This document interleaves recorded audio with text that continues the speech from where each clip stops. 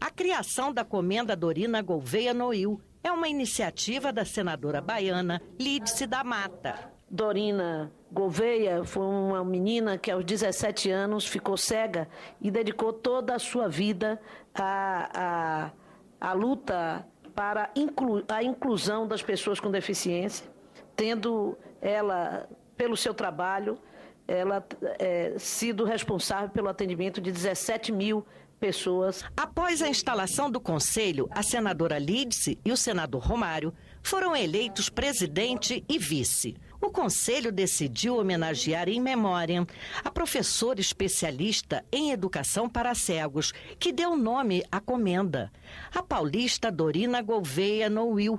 Morreu em 2010, aos 91 anos. A comenda será entregue em uma sessão especial no plenário do Senado no mês de setembro. É um reconhecimento é, do Senado da República aquelas pessoas que desenvolvem trabalho de inclusão. Inclusão às pessoas que têm qualquer tipo de deficiência.